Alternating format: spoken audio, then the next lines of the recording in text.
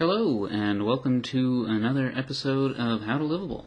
So, the first thing that you have to do is log into your Google Drive.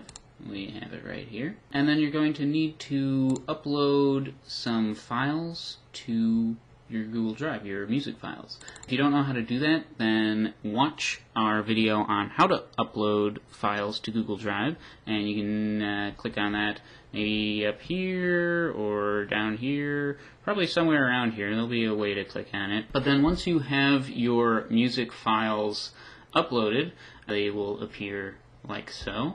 And what you want to do is right click on one of them and you're going to say open with and it's going to say suggested apps or it might not. Um, if it doesn't you can click on connect more apps and search for it but you want to click on DriveTunes. And then it's going to open up another tab or window or what have you, and it's going to ask you to choose an account. So you obviously want to choose the account that your drive is connected to, and then it's going to ask you to allow it to uh, know information about your account and all that stuff, and then your music file is going to appear here, and then you can play it like so. And this is uh, just like iTunes or Windows Media Player. And you can upload as many files as you want. You can upload them from here.